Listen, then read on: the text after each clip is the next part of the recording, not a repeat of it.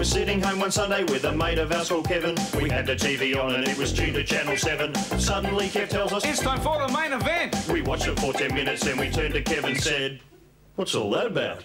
We were walking down the shops to get a couple of chop wedges. We saw one of those posters up for Benson and Hedges. The one that has a light bulb talking to a piece of bread. We looked at it for half an hour, then we simply said, What's all that about?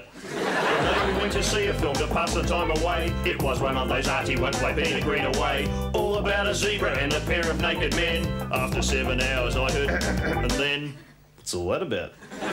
Later on, we went to hear a speech by that John Hewson. After half an hour, we could feel our belts loosen. He talked about his Fightback package and his GST, but there was only one response as far as we could see.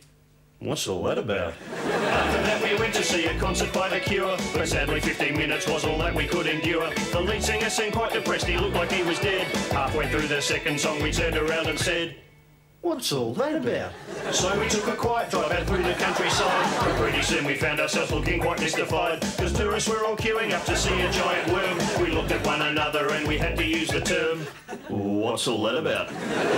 we were strolling through a quiet city mall. We came across something that never fails to appall. Students doing street theatre, God knows what it all meant. I think you can imagine how the crowd's reaction went. What's all that about? We had a friend called Barry, he's demonically possessed. So we got some holy water and we tried to have him blessed. The priest came in, Barry spewed, then he spun his head. The preacher looked at us and then he very softly said, What's all that about? Now even though this song could go another 20 verses, we really ought to stop before its impact all disperses. Cause right now lots of viewers are sitting there at home. They're calling up the ABC and asking down the phone. What's all that about?